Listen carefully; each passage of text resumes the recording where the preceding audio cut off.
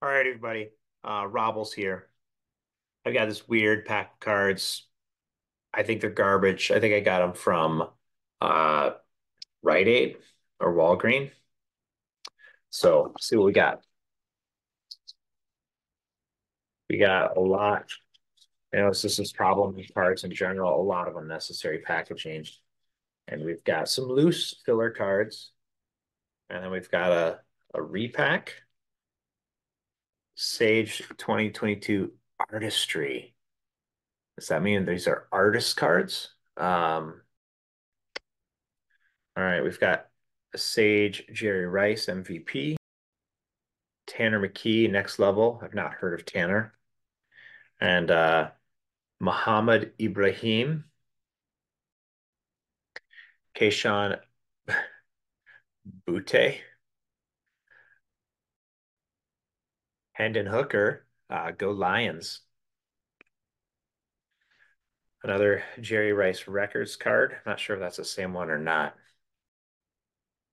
Mike Alstott, is that a throwback? It actually looks like it's a 97 upper uh, deck card. Almost out of the junk wax era, but not quite. And we have a Darrell Green 1993 uh, Skybox. Kevin Hardy, wasn't there a wrestler named Kevin Hardy? Uh, also the linebacker Kevin Hardy for the Jaguars. This is a Topps 1999. Oh, Troy Aikman, famous uh, football announcer, in 1991. He's uh, upper deck. 1991 upper deck. Looks like he's uh, he's getting sacked there.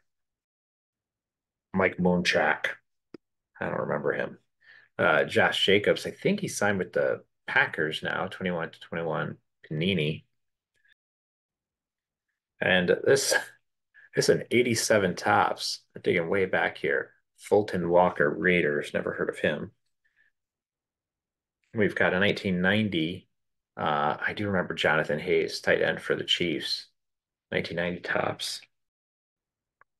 I do not remember uh, Ricky Nattiel uh, 1990s Pro Set card here for the Broncos. Steve Tovar, do not remember the Bengals linebacker, Steve Tovar. This is what, 93 Upper Deck. Nor Johnny Holland, linebacker for the Packers, um, more uh, 1990, early 90s Pro Set. We've got Fred Strickland. I don't know who Fred is. Ricky Dixon, safety for the Bengals. And lastly, uh, Eric Martin, uh, Saints wide receiver. And we saw this little uh, 2022 pack. So we have Connor Heyward, uh, fullback. Not not heard of Connor.